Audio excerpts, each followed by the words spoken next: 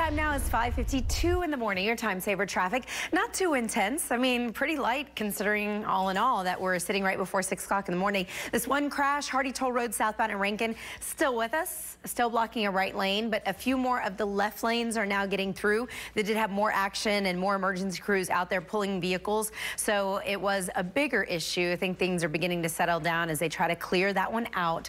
Midtown Bridge closed. This all happened yesterday where pieces of the deck began falling, pardon me, spur 527 from Smith to Holman pieces of the dick, pieces of the dick, pieces of the dick, pieces of the dick, pieces of the dick, pieces of the dick, pieces of the dick, pieces of the dick.